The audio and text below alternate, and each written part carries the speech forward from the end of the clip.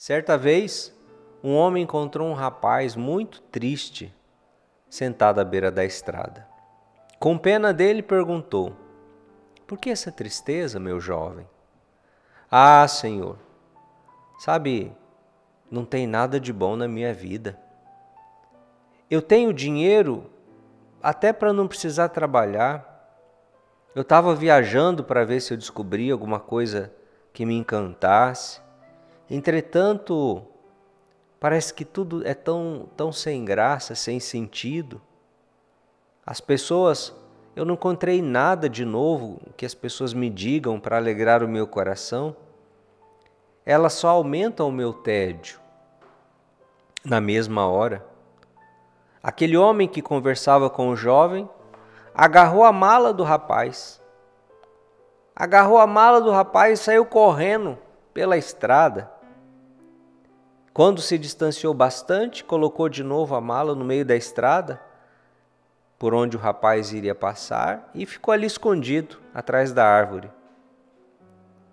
Depois de meia hora, o rapaz apareceu, sentindo-se mais miserável do que nunca, por causa do ladrão que acabou roubando a mala dele. Poxa vida, já não estava um dia bom, o ladrão me, roubou minha mala. Assim que ele viu a mala que estava ali no meio da estrada, do nada, correu até ela. Ao perceber que o conteúdo da mala estava intacto, o ladrão não tinha tirado nada, o rapaz não tinha tirado nada. Ele olhou para o céu cheio de alegria e agradeceu a Deus por tanta por tanta bênção, por tanta felicidade. E aí atrás da árvore saiu o homem, que observava tudo à distância e disse assim para o rapaz: É, meu caro, certas pessoas só sentem o sabor da felicidade quando a perdem. É, deu para entender? o que é que eu desenho? É verdade, não é? Veja, o rapaz estava lá, insatisfeito, nada tá bom, nada tá bom, minha vida não tá boa. Ah, não tá boa? Aí pegou um negócio dele, saiu correndo, como se fosse um ladrão, né? E aí fez o rapaz desesperar. Aí o rapaz achou o negócio e que ele viu que não tinha perdido, porque estava tudo lá dentro. Graças a Deus, eu sou a pessoa mais feliz do mundo. E aí o homem falou: É, aprenda essa lição. Às vezes a gente só quando perde, ou tem o risco de perder, a gente aprende a valor ao que a gente tem. Então, quer dizer, é, ele tinha motivos, é que ele não enxergava. E é isso que eu quero dizer para você hoje. Você que está parecendo esse jovem aí da, da estrada, resmungão, desacursoado consigo mesmo, parece que nada tá bom. Comece a olhar assim e você vai encontrar na tua vida e ao teu redor motivos para agradecer é que a gente às vezes não é capaz de valorizar. É aquela velha história, às vezes a gente precisa perder para dar valor.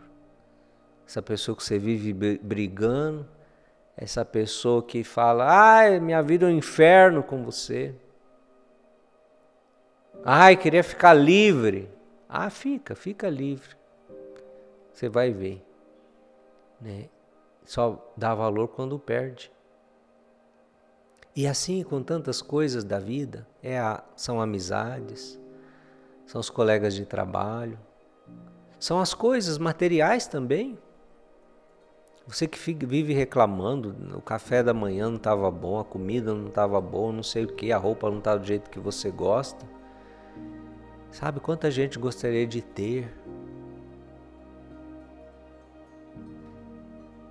Então, pare de reclamar, comece a agradecer e a valorizar.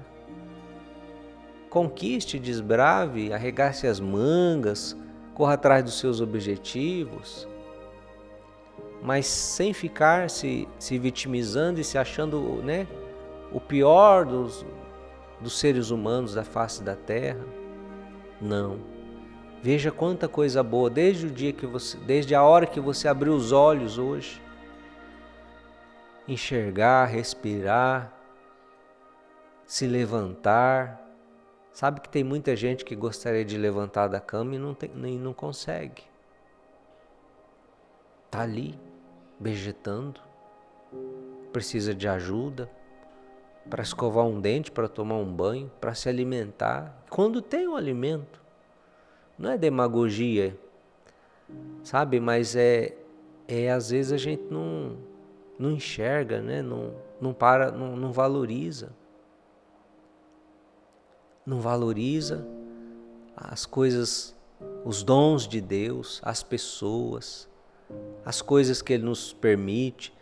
Tudo bem que pode ser que não seja né, ainda o que você gostaria de ter e de ser, mas agradeça pelo que já foi possível, agradeça por onde você já chegou.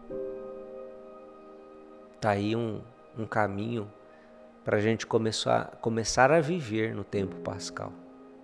Vida nova é isso. Vida nova não é que tudo vai mudar ao seu redor, não. Vida nova é que dentro de você você vai começar a fazer as mudanças necessárias. E é assim que a gente vai ressignificando o nosso olhar e o nosso viver.